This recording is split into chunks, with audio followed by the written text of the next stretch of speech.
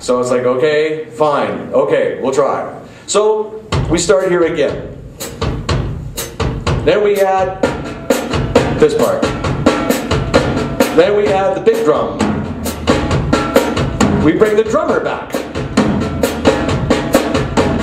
Make it happy. And then uh, George of the Jungle.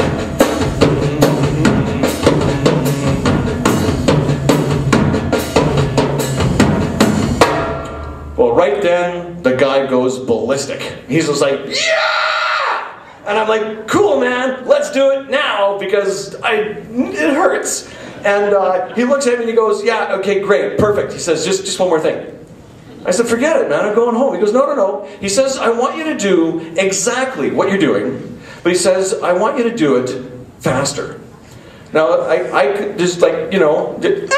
And uh, he says, after you're going faster, he says, then I want you to party. uh, what? Excuse me? He goes, well, in this commercial, he says, there's the cars going everywhere. Like it's a freeway, it's all high speed action stuff. He says, I want you to party like there's cars going everywhere. Yeah. Yeah, drugs are bad.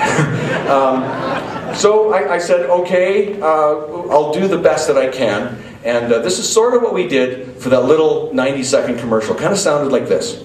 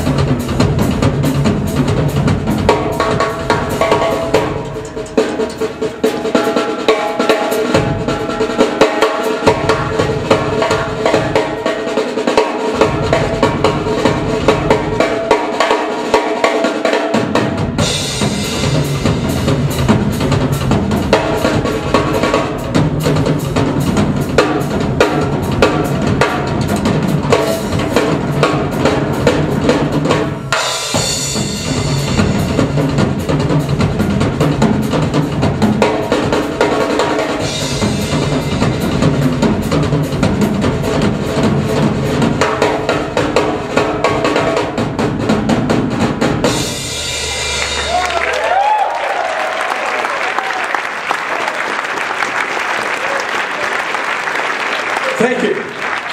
So here's this guy who uh, knows absolutely nothing about drums. And he comes over to me and he says, uh, Parade, right? Flamboyant costumes. Uh, drummer goes away, big drum, party like there's cars going everywhere. Make them happy. George of the Jungle. He uses all of these things to teach a drummer a whole new way of looking at his instrument, which I thought was pretty astounding. And that dawned on me that day, right, to contribute to the King of Stupid. You can learn things from everyone. Everyone has something to teach you. No matter whether they've got degrees, whether they know anything about what you do, whether you've even seen drums before, everybody has something to teach you. All you have to do is listen.